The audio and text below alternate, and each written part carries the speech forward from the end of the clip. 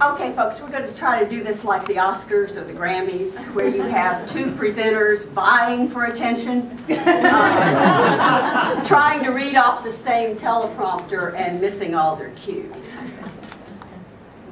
But talk about a tough gig. How do you introduce Tony Avent to a bunch of plant people in Raleigh, North Carolina? Or anywhere else. Surely this is a situation for which the hackneyed phrase, the man needs no introduction, was invented. You're here because you already know him, and you're eager to hear him, not us. You already know that Tony uh, and his wife, uh, wonderful and talented late wife Michelle, uh, intrepidly founded Plant Delights Nursery 25 years ago, that it's grown into an international beacon on the Plantsman's Hill, and and that it's uh, a uh, a great international destination nursery with an endlessly growing collection of uh, heirloom plants, uh, new plants, wild plants, that it has amazing research gardens and a- a robust scientific research program. And please join us after the talk and before the auction to cut the cake celebrating Plant Delight's 25th anniversary.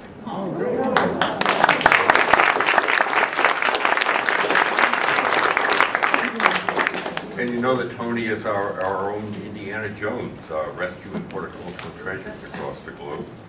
And you know that he's a regular donor of fascinating plants to our Yes. NARGS auctions, as well as our intrepid auctioneer. And if you are not signed up to receive his Facebook postings for Plant Delights, then you are foregoing an enriching educational opportunity. And you know that he's an enthralling writer, uh, lecturer, horticultural raconteur, author of uh, So You Think You Want to Start a Nursery, as well as um, creator of a wonderful, yes, titillating catalog and webpage, a fountain of, uh, of of puns and wordplay. Isn't that enough? We could drone on and on. Yes, that's enough. Say goodnight, Gracie. Good night, Gracie. And now on our stage this morning, speaking of his Horto adventures in the Balkans, ladies and gentlemen, the man, the legend, our own Green Lantern,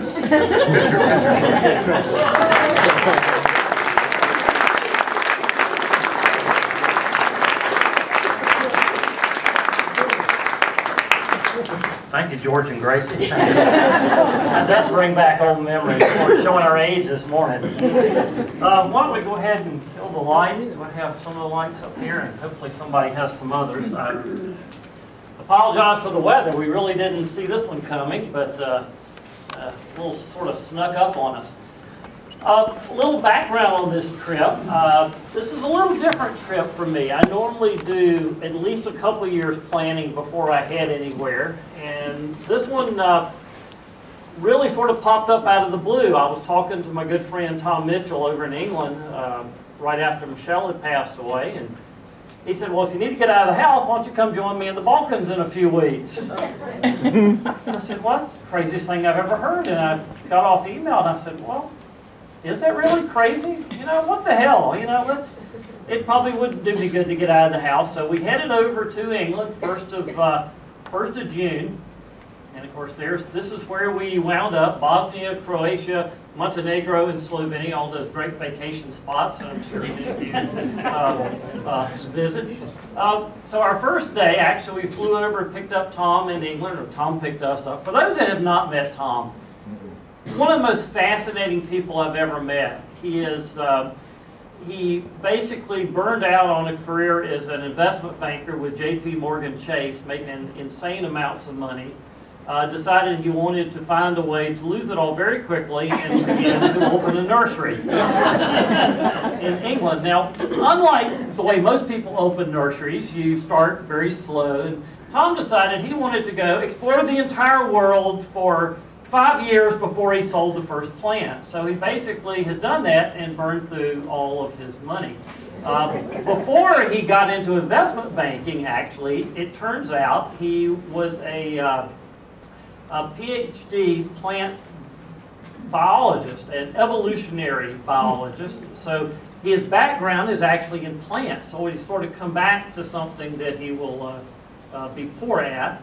Uh, I called my friend Hans Hansen here in the U.S., who's a, a well-known plant breeder up in Michigan, and I said, well, you know, I know you're working with hellebores. If you'd like to come, come come on. So he agreed to, to join us, and uh, three of us uh, uh, headed over to the Balkans. First stop again was at Tom's Nursery, and this is uh, this is basically what happens when a plantsman collects but doesn't really do anything with the plants. They sit there and lots of great seedlings. The house here, stuff's about this tall. Those are not the plants. Those are the weeds over top of the plants. There used to be incredible things, and we did dig through and find some uh, some really neat treasures. But the problem is he collects faster than he processes, which is true of a lot of collectors.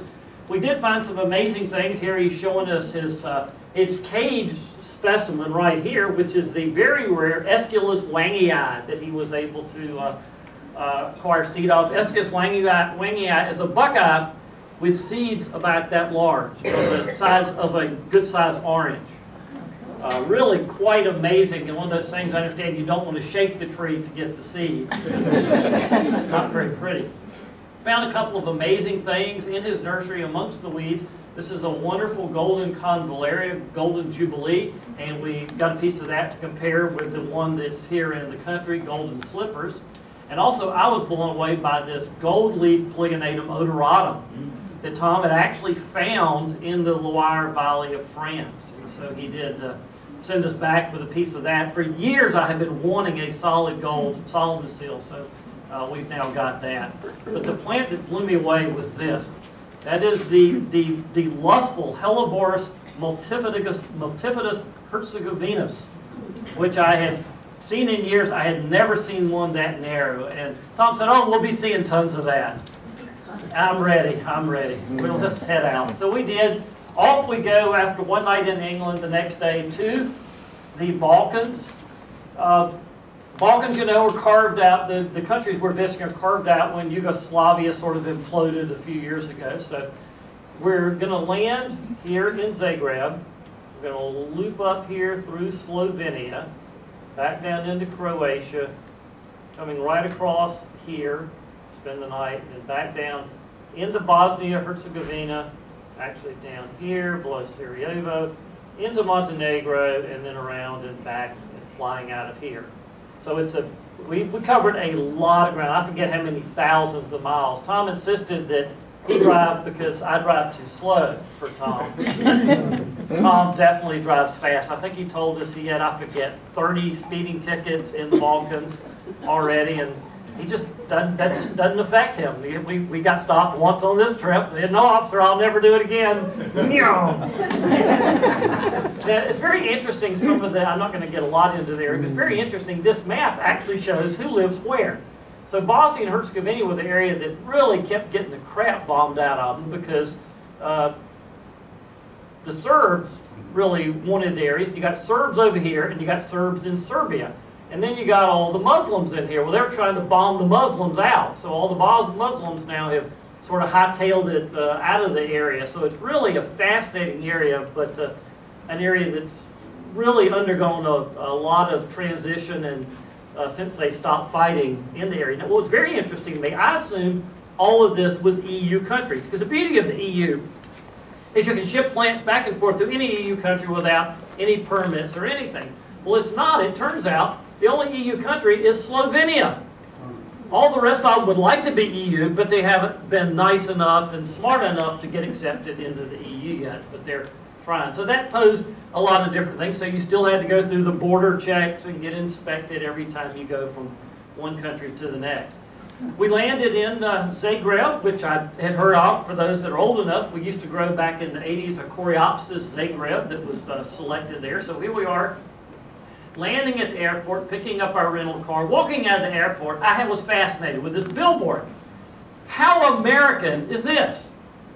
I mean, first of all, you know, if you want to go find good credit, go to this bank. Well, A, they're using Sharon Stone uh, type figure here to publicize it.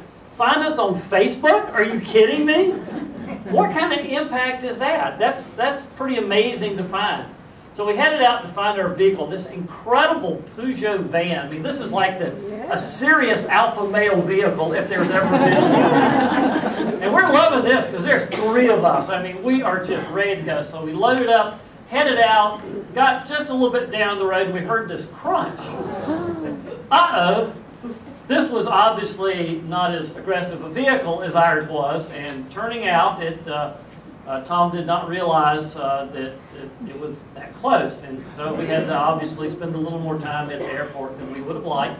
But eventually, we did head out, uh, heading to the west to our hotel for the evening uh, in uh, Samobor, which many of you may recognize from Geranium Samobor. Wonderful little hotel.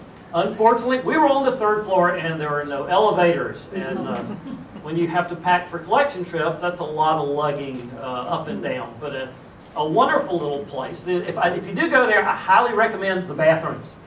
I have traveled around the world. I have never been in a bathroom like this. This is a bathroom that could seat 12 for a formal dinner while six people were bathing. It was unbelievable. Phenomenal for washing plants. Absolutely. So from here, especially for those that have never tried, there is nothing better to bare root, wash bare root plants than a bidet. It is put one in all of our greenhouses. They are marvelous. So from here, we headed north up into Slovenia. Our first stop, we pulled up at this little gas station. Tom says, well, this is a site I know. Walk across the road. We walked in off the road into this. Absolutely amazing. First thing we see, Epimedium alpinum. Huge swaths of epimedium. And then right here in the back, hellebores. uh, Helleborus atrorubens growing right here together. Look at this. And here is Asarum, a serum europeum growing in with the uh, epimedium. The great thing about going in the wild is, is being able to see these plants that you know, and it's like, oh, there you are. You're home. This is great. You know, it's like they've invited you into their home. It's a little close up of the hellebores. It was so neat. Now, we were there in June, 1st of June, so no hellebore flowers, which I'm more interested Species hellebore flowers just don't do much for me. Okay, they're small, a lot of them are green, they're just, compared to where the hybrids are now, I just can't get excited. What I get excited about is the foliage, like I showed you earlier. And then, of course, the opportunity to just see these in the wild. Uh, Helleborus niger was at the same place. They're going right side by side. That was fascinating. Because niger is sort of weird on the hellebore family tree. It's sort of off on its own because it flowers much earlier. But to see them both flowering, all I mean, both growing right there together was incredible. And then also, went back up with that, lily of the valley, which we all know, uh, growing there in the wild. Uh, just, just amazing. Here we are again. I haven't moved a foot in all these shots. This is uh, uh, the Solomon seal over there, Polygonatum uh, multiflorum, with cyclamen. Looks like our native asarums. I'm, I'm walking in, I was like, damn, you know, here's a Asarum minor. But that's the cyclamen purpurascens. And periwinkle, Vinca major, which we certainly all know, growing right there in the wild. Really just amazing. And just a, a, a shot as we walked around through the woods, incredible stuff, the ferns, the Dryopteris filix-mas. But the thing that was amazing to me is blue fescue, which I've grown for years. Here it is growing in the woods with ferns and hellebores. That's just, I just didn't see that one. That was really crazy. It just everywhere you looked was just this incredible combination of plants. Here, the willow leaf gentian, Gentiana asclepiadea, and one of my favorite ferns, which I've, I've got a whole new appreciation for, is the uh, Asplenium scolopendrium.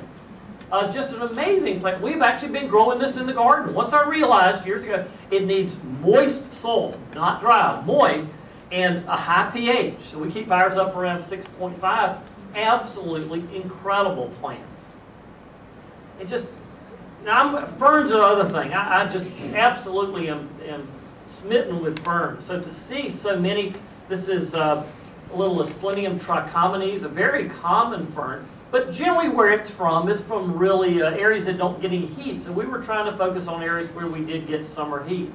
We were able to find spores on a lot of these. Uh, the lovely Polypodium vulgare, very common rock fern, again growing there with the, uh, uh, this is this little plant with the round leaves is uh, Daphne mezereum, which was really, I mean, it was just it was just everywhere you go. It's like, wow, I know this plant, I know this plant. This is this is really cool. Polystichum setiferum, a fern that we grow. In the wild, some of these clumps had fronds four foot long. It's incredible. And I think a lot of potential for growing new forms of that uh, in the U.S. There's beautiful aconitum, aconitum uh, lycoctonum uh, growing there in the shade with the hellebores. We were able to get a piece of this back and it's doing very well. Uh, white flowers, but again, a woodland, uh, another woodland aconitum. Plant that blew me away at the stop was Salvia glutinosa. The uh, distant sedge had no idea it grew in the woods with hellebores and ferns. This is a yellow flowering woodland uh, salvia, very similar to out of the group of Salvia koyamae, which we know. And we would see this everywhere on the trip, and we were able to get a couple of clones of that back. From here, we, we went further north up to 1,250 feet uh, to a site that Tom had been before. First thing that greeted us was this incredible Aruncus, Aruncus dioicus, in full bloom, six foot tall, just amazing.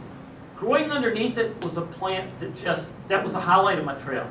This, this is Ruscus. I collect Ruscus. I love Ruscus. I'm fascinated. Although I've always thought, you know, most of them are sort of marginally hardy, we're sort of at the northern end.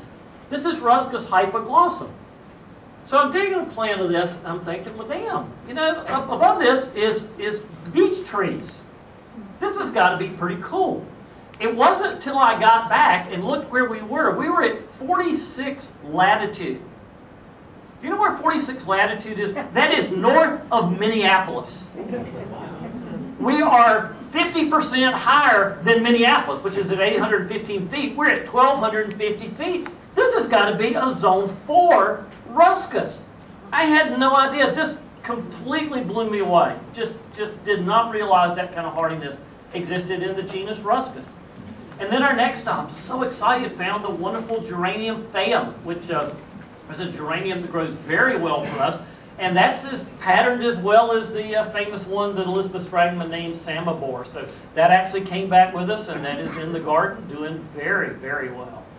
The uh, next day, we after we got up, we headed south. Now we're heading down uh, toward Bosnia. Our first stop was a low elevation, about 700 foot. We stopped, pulled up right in front of this guy's house and right in front of his vegetable garden. And see, there's his garden. So here we are looking for any patch of woods. That's where the cool stuff is. So there we are, just walking in to this incredible clone of Asarum europaeum. See, Asarum europaeum pretty much sucks for us because what we got to trade is mostly high elevation stuff. Well, there's plenty of low elevation collections that we need to make. And uh, we did make some of this. Hopefully this one will survive. It's, it's had a rough uh, time back. But just incredible the diversity in that. Loads of Helleborus niger in here, again with Helleborus atrorubens. Uh, from here, off we went, again continuing further south, but we're heading back up in elevation. This is the countryside. Is that beautiful or what? What are those silver trees? I mean, who would, uh, probably a, some sort of a cypress. We did not get down there to see, but Very um, silver. that would be my guess, is some sort of a cypress. It's, it's a, just a beautiful agrarian area, but a very, very cold uh, area. There we are uh, at a stop that Tom had spotted uh, earlier and easy to find because of the little memorial to the plants he's taken and killed. and here we found more ruscus. And the cool thing about this site, ruscus is male and female plants. And where the other site we found no fruit, we were able to find fruit here, so we're able to actually make male and female collections. So, and this site was, even though it was for a little bit further south, was 1,600 feet, so it was even higher elevation than we found before. Also here, a plant I love is the uh, wonderful Lamium orvala. If you haven't grown this, it is amazing. It prefers to be in a cooler climate, but hopefully uh, material from this uh, site, if it survives, will be a little more uh, heat tolerant. A beautiful lamium, it's a clumping lamium, about two and a half, three feet tall, that is just extraordinary. Also here, Paris. Paris in the wild, uh, just uh, amazing. Paris quadrifolia. I've actually grown this, but just incredible patches. This is obviously first cousin to trilliums. The pulmonarias. Oh my God. We had found pulmonarias the first day, but this pulmonary was incredible. 20 inches long. Unbelievable. We've never seen one like this. Uh, that's Hans's hand, which is, he's got a big hand. He actually brought this back, and I talked to him last week. It's doing incredible. He said it's even bigger than it was in the wild. So he's going to try to breed with this. Nobody's brought back any new pulmonarias in years. Everything in the trade is just the same genetics remixed. Uh, uh, heading on, this is just sort of what a site would look like. We would stop side of the road, and there's just looking up in the woods. This is all Helleborus niger. And then also at the same site, uh, more uh, Helleborus atrorubens. Now just look at the difference. I'm fascinated by genetic diversity. That just that just is amazing to me. So here is two forms of niger. More typical what we see, and this one almost to me starts looking like, well, maybe it's got something else in there. Well, I walked on a little further and found that. Now, Dick, Judith, I'll let you, uh, to me, I got Tom over there, I said, does that not look like a hybrid to you? I think Samantha Rubens and Niger have been, been doing a little something there. That's just, uh, and, and we didn't, find, other than this site, we did not find anything else that looked like an integrate on the whole trip. So pretty excited about that. And I did bring a division of this back. So fingers crossed we'll know when it flowers. Tom said he's been there in bloom and never saw any uh, uh, hybrids, but this was a brand new site to him. As we continue to head south, again, the, the, the habitat changes as we go through. The Balkans are a series of uplifts uh, from the things crunching together. So you've got all these weird endemics. There's over a thousand endemic plants just to the Balkans because each between each little mountain was so isolated that plants evolved differently. Uh, the one thing we hate are these guys. Uh, these, I mean, they just mow down all the cool plants on the roads. And then you actually have to get out of your car to see stuff. It really sucks. And every country I've been to, they have it, whether they do it by sickles or, or like this. I always try to get ahead of these guys. Uh, so here we are at a uh, just a roadside stop and uh, walking through. We did find here, this is Helleborus multifidus. Uh, this is the first of the multifidus that we have found. And multifidus is generally a little narrow, although there are some other things that are narrow as well. Normally they grew in shade. This site is in full baking sun. And they were doing absolutely fine. The only shade they get is the grasses coming up above them in the summer. Also here the lovely Salvia pratensis, which is fabulous in this area. So we sort of look at associations. When you see plants that you're already able to grow, you know you're probably going to be able to grow other things from the site. Um, as we continue now, now, right, I did I mentioned that Tom had not been to these couple sites. The reason is we're driving down our main road, and Tom starts this conversation about American politics. So he finds fascinating. So we're engaged, in, and of course, the next thing you know, we've missed our exit. So Tom decides, even though we can't read any of the road signs, that he can find a way back to our main road. Not true. So we went on a five and a half hour detour. so we're thinking, you know, he said, well, you know, we've lost our road, but I think I can make it back over the mountain. And so we started heading up this road that had no signs on it, so we're getting higher and higher. So we're we're now up about 3,500 feet. And the cool thing was we're starting to see plants that were already, we missed flowers earlier because we're getting a higher elevation. This little anemone narcissiflora, narcissiflora. We're seeing more of the uh, Lamium orvala, this incredible color form. Oh my God, incredible. So we're up, again, uh, 3,500 feet now. So we're just, it's just great. And we even found a scopolia, which is a really cool Scopolia carniolica weird woodland member of the Solanaceae family. Tom had never seen it in the wild. So we're about 3,500 feet now, all excited and, and continuing. I mean, it's just an amazing area. Clematis alpina. Oh my God, that was just a just just incredible moment hanging off the walls right with Clematis ochroleuca, another plant that we can grow just barely because it's getting up higher elevation. And then I about fell out of the van with this. That, that is sweet Cicely, which I've heard of and I've never grown. Myrrhis odorata. Is that just incredible? It looks like this giant three foot tall fern growing 3,800 feet elevation in the middle of nowhere. It was, it was, incredible. We tried to bring this back, it didn't. So, I, but I think I can get seed on that. Just, I mean, that in the woodland garden would be a stunner. Right after this, the road turned to dirt and then ended. so another hour and a half back down the mountain to try to again find our road. Eventually, we did reconnect with the highway, and we where we stopped for lunch at 5:30. we were really, really lost.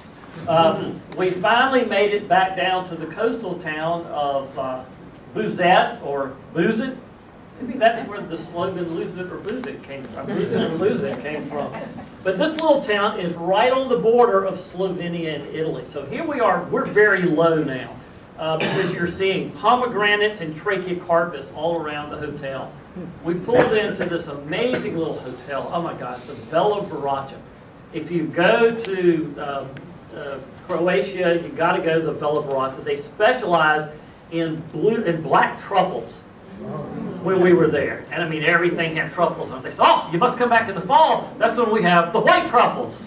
very rare white truffles. Uh, Tom was very tempted to go back. I found that truffles add maybe some flavor, but they add a lot of expense to your meal. Not a lot of parking places around the Bella Varacha. It's beautiful. This is where we had dinner that evening out overlooking the valley. Oh, it's just it's absolutely incredible. This is the parking lot behind the hotel. Unbelievable. It took us 40 minutes to get our vehicle out in the morning because they wedge everything in. You have about an inch between it. So you've got to climb over somebody's vehicle, down through the window to get in. And then if you're lucky, uh, to just squeeze right around these narrow alleys that you, you see so much in the old, a lot of the European movies. So we're heading now just north of our hotel, north of Buzet, still in Croatia. We got up to about 1,600 feet, and what do we find? Smoke trees everywhere. This was so cool to see smoke trees in the wild. And I mean, every smoke tree under the sun, every form. This was uh, one 12 feet tall with almost reddish flowers. This one excited me. This is a ground cover smoke tree. This is one foot tall. Oh my God, it was incredible. Flowering with hellebore. I mean, hellebores are growing all among the smoke tree. This is too weird. This clone, actually, I don't know if you can see it there, had already started to, uh, already started break, took cuttings and actually have one of these rooted.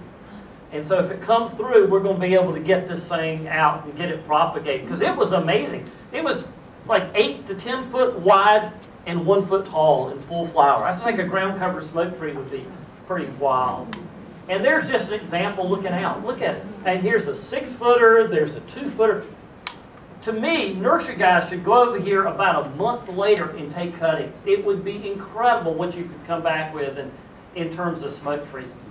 Growing all amongst them, we found our first peonies.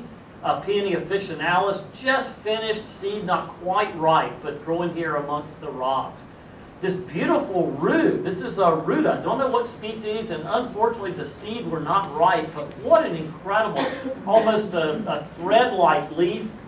And again, there's more of the blue fescue, but look at the variation. It's not all blue. It goes from blue to green.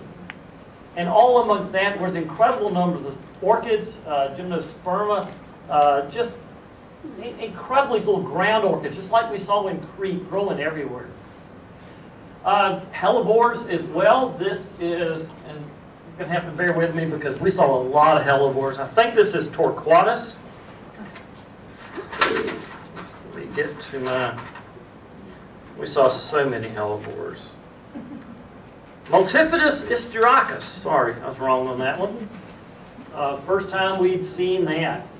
And again, more of the wonderful Salvia pratensis. It was so neat to see these salvias, and right beside that was Salvia verticillata, which many of us also grow. So a completely different species growing there together. We're now going back up. We're up at about 2,600 feet at this point. Look at this grass. Is that not the coolest ornamental grass? Oh my God. I love that. That is a stipa. And I wish I could have brought that back. That, that just that's just too cool. And the little short thing, only about uh, 20 uh, inches tall. I love this right nearby the stipa. It's incredible butterfly photos. Uh, John Dole told me what kind it is, a little uh, white something or other. But, but isn't that just, yeah, I know you figured that out. it is absolutely amazing. So that was so neat. And then we went around the corner and hit this. Oh my God. It's just, it's things like this you live for. Uh, starting out, Cyclamen repandum, Hellebores nobilis, the, uh, little Asplenium trichomanes, uh, there's the Cerum europaeum, and the hellebore, all right there together in one photo. I mean, that's a, that's a perfect garden pairing, and here it is in the wild. It's so amazing. And just this whole bank was just covered in ferns. This is a little Asplenium onopteris there with what I think is Ethereum felix femina and uh, uh, Sedum hispanicum, all right there together. It's just, just amazing. Again, this whole strip, this is just a roadside cut with just ferns. This, I think this is also Athyrium filix-femina. On down the road, I'm so excited. Here's a plant I've wanted to grow for years, gas plant. This is Dictamnus albus, which will not take our summers. I think we've got some. If, if they survive our trip, that should do, because these are from very hot areas. These are the plants that actually excrete gas, and you can actually put a lighter near them, and it'll shoot out a flame. It's, it's really cool. It's a, it's a, it's a great thing. A lot of euphorbias in this area. Uh, euphorbia, maybe an epithymoides, polychroma type. Uh, Geranium sanguineum, another plant we know we can grow. So, so that's what gets us excited when you start seeing all these plants are already growing. And you're thinking, well, maybe everything else here should grow. Finally, a flower on the Paeonia officinalis. Oh my God, to see those uh, in bloom was just amazing. Growing in a full sun meadow as well as in shade with hellebores. Really fascinating to see. Uh, more Solomon seal. This is uh, uh, Polygonatum odoratum, which is two species. There's odoratum and multiflorum. And then just incredible pulmonarias, just every shape and size uh, under the sun. And just, again, this is a little philipterus, a fern. And then this wonderful patch of Lilium bulbifera. Oh my God, incredible. In full flower, just popping up along the roadside. Uh, and this one forms the little uh, leaf bulbils, so I we did get this. Uh, Hans brought that back, and that one should do very well for us. More of the little orchids. This is Orchis uh, simia. And then continuing on down to a, a much further site, this, this wonderful meadow. So here we are. The thing that amazed me about the meadow is all the conifers in there are just weather beaten. Must be a very windy area. But they've genetically dwarfed uh, you could you could go in as a nurseryman and just make incredible selections. Every shape and form of a little contorted dwarf was just unimaginable for a conifer person. I, I definitely that would be a place to go back probably in July with clippers in hand. Uh, out in the middle of the fields with the junipers are gentians. These incredible giant gentians. Would love to see those in flower. Do not know what species. Uh, we're getting more hellebores this would be, this is, uh, we saw a lot of this. This is a hybrid swarm of Helleborus multifidus and Helleborus torquatus. I don't care if that ever flowers. that is absolutely incredible. I love that for texture. And then continuing on, this is another area. Then we're stopping at some stops at Tom New. Very similar area. We started in the lowlands, out in the sun. And we're seeing more of the hybrids here. We're starting out going, just the lawn was thyme the whole field. So everywhere you walked, just this incredible fragrance wafted around you. And then the hellebores growing in amongst the thyme were just incredible. As we continued to walk, once we got up in the trees, entire acres of lily of the valley. Can you imagine what that would be like in flower? Oh my God. Once we hit the lily of the valley, the torquatus uh, multifidus hybrid stopped. You did not see any more of those you walked about 50 feet into here, and then you got into Niger. Totally separate into where they grow. This was always growing in deep shade, which is interesting because where I found it grows best in the garden is in full sun. So this was quite fascinating. Growing the orchids, I mean, the uh, this is a little tway blade orchid growing right along with the hellebores. And this was uh, our next to the last stop for the day. This is a site Tom had been to before. It was incredible. This area is it would open up just full of those same hybrid hellebores. Look at the leaves on these. The diversity of foliage is just incredible. Look at that. I actually have a division off this one. Oh my goodness. Again, just totally different than what I'd ever seen as hellebores. This is all within a two-foot area, all three of these photos. And yet, look at the diversity. You, you could go absolutely crazy here. Look at that. It's the same hybrid. That's just, I mean, you're just like, oh my God, and then you dig a piece off this one, oh my God, we did a piece off this one, and you just finally just give up. It, it's just, it's just crazy. Growing right beside it, this incredible patch of Iris graminea, the grass iris. Oh my God, the patch was four foot across, in full bloom, with a lovely grape soda fragrance. Oh, to die for. Uh, we did get a division off this. We've actually grown this in the garden for years, and it does very well uh, here. This one, I believe, had a little wider flower than what we're used to. And a plant I grew at home, I was so thrilled to see this because it actually has a darker, darker lip than the one in the trade. This is a plant called bastard balm. One of the great names in horticulture. this is Melittis, Melittis melissophyllum. And normally what we had seen on the trip, the, the, uh, the lip was a light pink, and this one was just dark purple. So we did get a division off this. Fingers crossed that it uh, comes through. And then our final stop of the day, all these last few were all very close together, was a top stop that, uh, well, see, Tom collects seed. That's how he makes a lot of his money to pay for his trips, is hellebore seed. Well, we have, up till the last site, this one I just showed you, we had not found any seed. We had been skunked.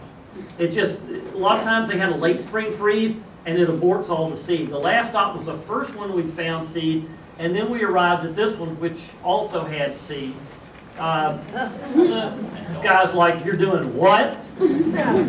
now, he couldn't speak, but I, I, I, realized later what the dog was trying to tell us. He was trying to tell us, there are bombs here. and there was. That was the first bomb I'd seen, and right near that, I found my first landmine. Oh. I was like, Tom, what does a landmine look like? yeah, I think I found one over here.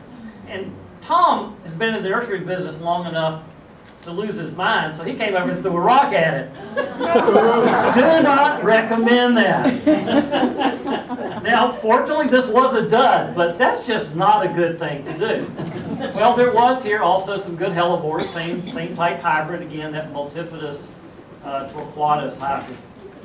Uh, from here, again, uh, dinner, and then our next day, we're still in Croatia, we're right on the border, we're heading into Bosnia. This was our first stop uh, in Bosnia for the morning. This wide open field, side of the road. Now you look at it and you think, was there anything interesting there? Well, not as much as some places, but here's the hellebores, and growing all among bracken fern. If we had been there a month later, we would never have seen a hellebore because the bracken absolutely would cover everything. Right on the rocks, I found this incredible fern that I also had found in Crete, and it is a bitch to grow. This is Ceterach officinarum. This is one of the full sun rock ferns. Only grows an inch tall. It's just cute as a button. The field is covered with this, acres of this. Colchicum. Oh my God, absolutely incredible. This is a, a plant I would love to see in bloom. This is come autumnale. And just again, hundreds of thousands. Can you imagine what that field would be like? And then right there in that same rock crack with the ferns, this is a couple little sedum, sedum hispanicum, uh, really growing everywhere. So we drove further into Bosnia. It was fascinating to watch all the bombed out houses. And there are bombed out houses everywhere. Well, they were building all the new houses right beside the bombed out ones. They never tore anything down. Now, whether this is like for memories or, or what it is, to me, okay, let's get rid of this one. Uh, unless you're like building a ruin garden, I guess it would be pretty nice, but I didn't see any of those. But amazing areas it tries to recover from all the, uh, all the shelling. Memorials all over the place to uh, all the people that got killed in the, uh, in the conflict. As we're driving along the road, I said, Tom, what, what are these things? Because we would drive along these fields and all of a sudden it's like, you know, somebody sunk the ground. He's like, those are dolines. He said, where you had a limestone sink. And I said, can we stop at one of these? He's like, sure. So we, we get out and we walk in there. It was incredible. Incredible. Anemone nemorosa, a plant that many of us grow, a lovely spring ephemeral, just big masses. Uh, the hellebores. Oh my God. That, that was, this is, um, let me see where we are here. This is a fine-leaved hellebores torquatus, uh, which again, I, I, don't care if it flowers. I don't need a flower on this. Also, more Iris graminea, but the cool thing is Iris graminea is growing right beside Iris variegata, which is another one that grows very well for us. A little uh, uh, medium dwarf uh, iris. To see both of those in the wild was incredible. And then, oh my God, I about fell over. This is a golden leaf bastard balm. oh my God.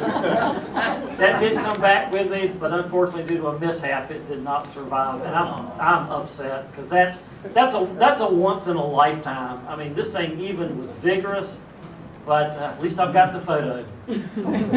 Uh, just again, as we continued on into Bosnia, more of these fields. You see the little conifers. See how worn they are? Just, just really amazing things that have uh, been dwarfed through the years. Going around it, this little gentianopsis. This is like first cousin to a gentian, except it's an annual, so it got some extra letters. Uh, but, but just the color of intense blue is incredible.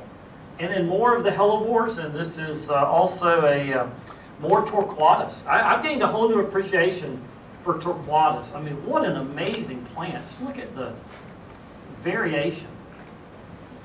Wow. Wow, that, that's incredible. Uh, growing also out there in the field was primula, primula veris. Uh, we did get some of this. I think this should grow from, from where we were. And then into this field, I mean, we followed these guys for a while. They, they were like, you're doing what in our field? Messing with our food? Uh, more colchicums. Again, just acres and acres of autumn colchicums. And then genista sagittalis. Oh my God. First became acquainted with this back here at Arboretum. Used to have a nice patch in front of the lath house. Only about six inches tall, bright yellow, and insanely fragrant. And it was just in full bloom. Oh, it was just, just like walking through this magical meadow to see that in flower. Oh, incredible. Digitalis, growing right there in the fields. This is, uh, I believe, grandiflora. More of those gentians. I, would love to see these in flower. We were just a bit too late. And then just looking, this is in the same woodland area, just walking through there. Look at the torquatus there. Incredible. And just, again, all between little orchids. Look at the difference. Just an amazing thing. And so heading, we're continuing west now uh, through Bosnia, and we're now starting to head south uh, for the evening. And we've got a long drive now. We've got a six-hour drive. So we had to fly. So we went over the top of the mountain and we promised we wouldn't stop. Well, Tom had a weak moment at the top. So here we are at about 4,800 feet. It's cold as a mother up here. Just, I mean, this is just starting spring. This is a wonderful aconitum. Uh, Alchemilla, which I'd love to have found a heat tolerant one of those. This isn't it. Uh, Dactylorhiza orchids, uh, which I've tried to grow, no luck this incredible euphorbia, which again I think must be polychroma because I cannot grow that here, and I certainly couldn't grow it from that elevation. Veratrum nigrum, oh my gosh. Three to four foot clumps of veratrum. Oh, I'd kill if I could grow this, but not from this elevation. And this was some uh, elevation form of Helleborus odorus. So again, we found five hellebore species on the trip. Martagon lilies. Oh my goodness. Hans was all excited because he breeds Martagons. Normally they would have green stems. This one, I mean, he says, when I would agree, you can tell the flower is going to be red because it has so much anthocyanin pigment uh, in the stems. We were supposed to head down to this town for the night called Trebinje. Well, Tom doesn't mind driving till 1 in the morning. I, on the other hand, do not like riding till 1 in the morning, especially when we don't know where we're going. And Tom had made about three shortcuts, which turned out not to work. we had to backtrack. So for the night, we, I said, Tom, you know, here's a town on the way. Let's just stop here. Little town called Mostar. So we did. Turned out it was an incredible hotel. It was a five-star hotel in the middle of nowhere. I, I did not understand. It's amazing hotel except for the bathroom. if you could have taken the bathroom from earlier in the trip and put it on this one, we'd have been good. The bathroom, the, the water did not run in the shower, but it ran without stopping in the toilet had a little issue right here. So we're in there and we're cleaning our plants and we got this little balcony and so we're working just about almost 11 o'clock at night and all of a sudden, who the hell put a mosque out the back of the hotel window? They're ringing bells and chanting for damn near an hour. That's just not the way you get people to come to your religion. Jeez, turn the volume down a little bit. Man, thank God I had to work till one anyway, but because that would have made sleeping impossible. Mostar was an amazing area, and, and that is an amazing hotel if you ever get there. From there, the next day, we're going back up in elevation because Mostar was low. That's another zone, probably 8B. It was very low because we're getting down toward the coast. We're heading back up now. This is a little stop about 900 feet elevation in the morning. Incredible poppies and this amazing shrubby, semi-vining shrubby clematis. Oh my goodness. We think it's probably clematis flammula. I did bring a little piece back. It flushed out, but I don't know if it's going to make it through the winter or not. Fingers crossed, because that was a beauty. Little campanulus relative. This stuff's growing right on the rocks. This incredible little, I don't know what the hell it is, like a hieracium, something similar to that, but I want that. That that is uh, that's pretty hot. I, I like that. And then up we are. We our first stop for the day was around uh, 2,000, no, 20, 2,300 foot elevation in this horrible rocky area. And you look at that and you think, well, what in the world could possibly grow here? Well, more dictamnus. And this is a hot area, so I think our dictamnus from here have a really, really good chance. There's a close-up. I mean, just amazing. About a three-foot tall spike. Uh, maples. These incredible dwarf Mediterranean maples. Uh, just amazing. Could be, could be Acer sempervirens. Don't know for sure. This is a dwarf Quercus cerris. This is a ground cover form of the turkey oak. This thing never got more than two foot tall max, and it was probably 15, 20 foot wide. Wouldn't that be cool? A ground cover oak. Oh my God. Found our first arum of the trip, Arum nigrum, uh, not in flower. A bear to dig. These things, the, the tubers are about a foot deep in rock. So, I mean, it, you have to want one really bad to get one out of here.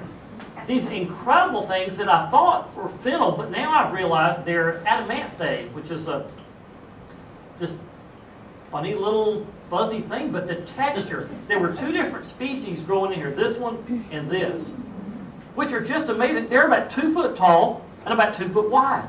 Just incredible. I have to get these. Uh, my plants did not survive, but I've got to go back and get these because they would be incredible garden plants for us. Iris pallida growing right there in the rocks, an iris that grows very well for us, more of the little uh, gentians, I mean the little uh, genistas. Uh, Gladiolus italicus, a plant that does very well for us. So again, we're seeing that association of plants we grow. Acanthus, I love acanthus. To see it in the wild was so cool. This is acanthus uh, Hungaricus balcanicus. Surprise? We were about two weeks before full bloom, which would have been great to look for flower color. But really, really just amazing. This is a particularly nice five-leaf, five-lobe uh, one that I did get a little piece off of, and then happened to stumble across a variegated one. Oh my God! I mean, that's pretty cool. And we did bring this back, so uh, fingers crossed we can get that established. That would be very cool. Right beside that was this incredible Helleborus multifidus form. Pewter leaf. This was normal. Found about three of these in the wild, and that, that one of those did come back with us. Wow. Would the, can you imagine a pewter leaf hellebore with cut leaf foliage? so heading to, yeah, we did have some road issues sometimes. Uh, this, uh, the sheep were on their way to lunch, as were we. We wound up at this little roadside cafe. This is the sink for the restaurant. Is that like right out of a Jeff Foxworthy routine? You know you're a redneck when? When that's your kitchen sink. Uh, the food over there was actually quite good. Uh, overcooked, but quite good. They, the Balkans have a thing. You know, it doesn't matter how you order your meat, rare, medium rare, it's all very well done. Uh, just, a, just a thing they have. Uh, next stop was an incredible sight. We, we stopped for the uh, asbestos. Uh, we're up about 3,500 feet now. And we not only saw it, but we looked behind it and we thought, well, that looks like an interesting area. I always like rock outcrop. So, so we start looking in amongst this rock outcrop. And oh my God, here's more hellebores. There's a little Aralia. There's pulmonarias. So we walk through more Asarum europaeum. these cute little ferns. Some sort of little uh, Athyrium, maybe. Euphorbia, I think, is robbiae, which really excites me because I love euphorbia robbiae. We did bring this back, and I think we've got this established. Galanthus, Galanthus reginae olgae. Is that so cool to finally see Galanthus in the wild? And we would see many more after this. And these were in seed, and we were able to gather seed. You can't gather bulbs because that's a CITES uh, plant. And arums. Oh my God, here's a second arum. This is arum maculatum in bloom. Very excited. And uh, Tom had heard, or he had been to another site, not this site, in the area that contained a plant that we found at this site. This is the very rare Arum longispathum. According to Peter Boyce, who wrote the Arum monograph, this has not been in cultivation in over 100 years, as he's been able to determine. It is now. We were able to get this and bring that back and found on flower. It was just, and when I got back, it was like email, you know, is this it? And he's like, that's it. You found it. So that's pretty exciting to have moments like that. Love this guy. He was growing right along the arum, and we kept hearing this sound. And when you're botanizing, you don't like to hear sounds. These guys were everywhere. This is a Balkan green lizard, and they're about 18 inches long. I mean, this is not a little bitty lizard, but very cute. I mean, would that not make a cool pet? He's just uh, very beautiful. And, and again, I, I, took a couple butterfly pictures because they were actually very beautiful. And as we walked on through the area, this incredible bank was just solid thyme. I don't know the species, but what an amazing. And then Euphorbia myrsinites growing out of the thyme. Just amazing. Again, there's two plants that we certainly know. A little globularia, which I had assumed I could not grow globularias, but after seeing them with these plants, this should be a good one to, to grow. Uh, heading further up, uh, we stopped at this field. Tom said, I was here earlier in the year, and we got out and looked. This is an entire field of Narcissus poeticus. Oh, oh, my goodness. Tom said he had seen it in full bloom. We only found the occasional one still in. We did gather a lot of seed. But can you imagine to find like five acres of Narcissus poeticus? Oh my goodness, what an incredible thing. Heading further south, now we're trying to, now we're, since we didn't go to our last night's destination, we stayed in Mostar, which is about an hour from this town called Trebinje, which is where we're headed. We had took this long detour to get there, so we're heading now back south. And this is a site Tom knew about. We walked in, these incredible Carpinus in bloom, but underneath them, this field. And as we walked in, Helleborus multifidus hercegovinus for the first time. Unbelievable. This, this is like this is like going to Mecca. I mean, you sort of want to fall down and go, Allah. Uh, what incredible textures. And just every plant was so different.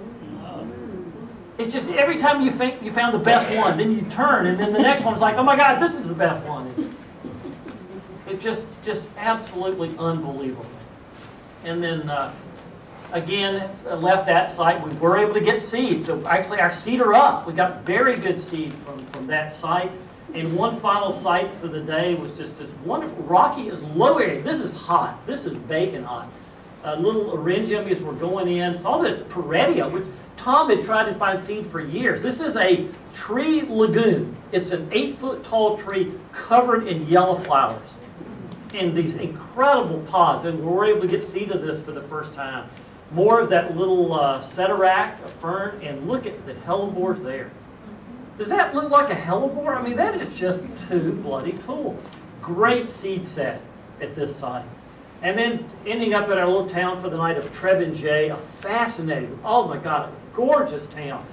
Very much a, a town of nightlife. They're having a, a motorcycle convention, evidently. But this whole squares was just amazing. And just at night, tens of thousands of kids. Every, I mean, 20s and 30s. This is just sort of a gathering area for kids. Now, where all the, the countries in the Balkans don't allow smoking inside or in restaurants, except for Bosnia. They have not got the memo. Everybody there smokes, uh, inside, outside, no matter where. But what, I mean, what a delightful town. Isn't it? I mean, you just get the feel. And then at night, it just, everything became alive there. Uh, the next day, off we are into Montenegro for our fourth country. So we're heading west again. Uh, beautiful scenery as we're we're heading in there. This is just inside the stop. I thought Tom stopped too close to the uh, the border, but uh, they didn't seem to bother us. This is Salvia officinalis, a plant that we've all grown. Uh, the sage of, of the herbal sage. There it is in the wild. With again the sedum, that's sedum acre at the top, which we all grow, and sedum hispanicum. And just coming down the hill, more hellebores. Here we are looking, uh, this is sort of a typical habitat of where we'd be gathering seed, and there were very good seed here. This incredible ajuga, ajuga genevensis, 18 inch tall flower spikes. I'm not a big ajuga guy, but this was impressive, and we did bring this back, and that's established very well so far. It's lovely scutellaria. It looks like something out of an American forest. And then here's the Helleborus multifidus hercegovinus again with the Euphorbia sapirus, which is a plant, you know, I grew years ago, except it got too weedy, but damn, is it beautiful. I mean, look at that. Is that just incredible? I wish it was clumping instead of running. That's a hell of a plant. And just look at the hellebores again. Just, just every one was just, just unimaginable. In sun as well as here in shade. And here we are. This is the first time I've seen any variation on that fern, that Ceterach. Look at the difference. Side by side, a small one and a giant one. That was incredibly cool. Geranium sanguineum growing in the woods with the ferns and with the hellebores. Look at that. Look at this variation. Look at look at that one. That's like threads. Oh my God. Incredible. Oh, look at that. I have a division of this. oh man. Man, it was just I like to say it just you got to the point you after you've done four or five, you're like just you just quit looking because they're just you know you're gonna find one that you think is better. It's just incredible. And just there's again the example of the seed. Seed have not fallen yet. So we just gather those seeds, put them in a bag, put them on the dash of the truck, and after about a day they just fall right out. Uh, really, really easy. This, this was amazing to me. That's the hellebores growing with sedum spectabile, like a sedum autumn joy. In the shade. We always saw the sedum in the shade. We never saw it in sun. So I'm having to totally rethink everything I knew about plant associations. We're coming back out. We stopped this little cafe in Montenegro for lunch, and it, we've been real lucky about currency because each place uses different currency. You know, you've got the Croatian currency and the Bosnian currency and the Euro currency, and everybody, every place you stop took something different. So we get in here, we, we finished our lunch, and we handed our credit cards. Oh, mm. oh, well, how about this currency? Mm. This currency, mm. This currency, mm. Euros. Tom's like, damn, I spent all my euros yesterday. Oh, must have euros. So Tom had to leave us there as hostage while he went and found an ATM in the town 30 minutes away to get some damn euros. Now that was an experience. Uh, but we were able to find this incredible botanizing area out back of the hotel with just an amazing array of things. Found my first clumps of Edraianthus graminifolia. I have never tried this, but I've, I've got seeds of this coming in. That should grow really well. A wonderful Dryopteris pallida, a fern that I collected in Crete that has done real well. Again, just this is a World War II memorial. We see a lot of those as well in the area. Uh, they, they really, uh, really wanted to represent the losses there. It's incredible from right behind that memorial with Queen Anne's lace. Oh man, what an just that's one of the things you had to see to believe. Just incredible. And then we're heading over now. Uh, the farthest we're going into Montenegro for our night in a little town called Kolasin. Just incredible coming by the, the lakes there.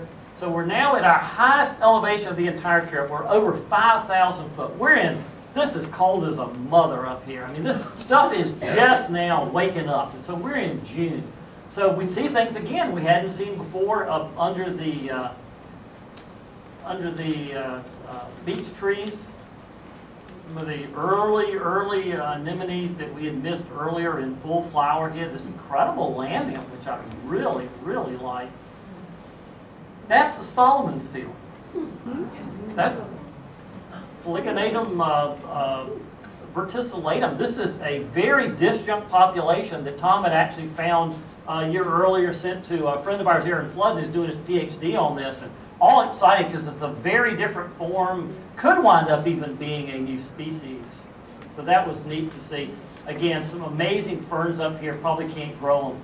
We're coming back down and we got flagged down. We're way up on the mountain. These guys had uh, did not have the best van to begin with, and it had sort of uh, had some issues, and they didn't have a jack. Well, it's illegal to be in Montenegro without a jack. We learned that in our little book that we read while we lent them their jack. So they were just thrilled as could be to uh, to have some help to get their vehicle jacked up because they they've got everything up to them, but they couldn't get it raised uh, without us. And then ending up at the day uh, at a wonderful site that this is where the original double hellebore was found. This is the one called, I believe, Dido, uh, found by Elizabeth Strangman of uh, England. And we stopped there, and you know, Tom's like, this top secret site, you can't tell anybody about this. I walked out here, I said, did she find these variegated ones when she was here? and we found this wonderful patch of variegated leaf uh, torquatus. So that's pretty exciting. We did bring a piece of this uh, back, and it's looking uh, very good so far. The weird thing, we got to a hotel that night. Tom had checked the reservations right before we left. We get to the hotel, there's nobody there. There's a sign on, it's closed. Tom's like, wait a minute. He pulls out his reservation. We've got a reservation. And this guy walks up said, oh, closed for renovation. what? When did you decide to do this? So fortunately, he sent us down the road. We wound up in a wonderful little place. This was the little parking lot out front. They were obviously having a hell of a trip. Uh, delicious, delicious uh, dinner uh, at the hotel. Last day, and this is sort of a quickie, up in the mountains again, pretty high elevation, 4,000 feet. For one last stop, Tom was looking for a another galanthus up there, which we were unable to find, but found this, uh, again, incredible fern and this lily. This is Lilium pyrenaicum carniolicum bosniacum. That's a hell of a mouthful. Um, but uh, I think Hans was able to get a piece off one of these because he knew it uh, well. I had never grown it before, but really, really nice little lily. From there, it's heading south, and we had a uh, about a nine-hour drive. And again, this is where Tom got one of his speeding tickets, driving like an absolute maniac. By this time, Hans is completely sick. His stomach is all in knots because he doesn't deal well with, you know, hairpin curves at 70 miles an hour flying down a hill. The, as we got toward the bottom, it's just a, the scenery is amazing coming down from Montenegro uh, back down into the bottom of Croatia. Just as we, just incredible flying down the mountain. Only stop was right when we got to the bottom, and I screamed, "Acanthus spinosus!"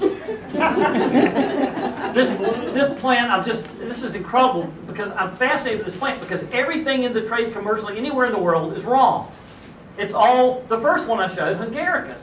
Spinosus is really easy to distinguish because it has spines, a lot of them. So we actually did stop and get pieces off this. I do hope they survive. There's it in flower, really uh, amazing thing. And then winding up at our hotel for the day. Now, Tom had figured, okay, we're going to need a nice place to process. Well, he got this nice hotel, didn't bother to check the price. Because again, Tom's blowing through money. It doesn't really matter to him. This was not a cheap hotel. It's nice. This is the Radisson Blu Hotel. If you ever have got money's not a problem, and you're in Dubrovnik, Croatia, it's an incredible hotel. I will warn you, if you're with somebody who is not your spouse, check out the room first. Because we went to, we asked for double beds, because Hans and I were rooming together, and you go in, and the double beds are together. They just have two different covers. and we went down and had to explain them. I'm sorry, this is not a double bed. Double bed means they're not together. You know, so finally they sent us in another room. We go in there. Okay, the beds are a foot apart. Thanks, guys. But the bathroom, which is right next door, has a glass wall and a sheer curtain over it. Okay, you guys got a great sense of humor over here in Croatia. Maybe in the honeymoon suite, but I'm sorry, that's not the room for double beds. But uh, we were able to get everything processed because we were not able to do phytos in, uh, in these countries. Everything had to be flown back to Tom's nursery in England where he had to go through the whole phyto thing there. And so unfortunately, Tom had forgot to get his nursery inspection. So that took almost a month of my plants sitting in the refrigerator at his nursery, which was not particularly good. And then he was so upset with screwing up, he put them in a styrofoam box, which happened to arrive in Raleigh when it was 95 degrees. So we did have much higher losses than we would normally have on a trip, but fortunately, we did make it back with a lot, and I hope you'll be able to see a lot of those in the next few years. Thank you.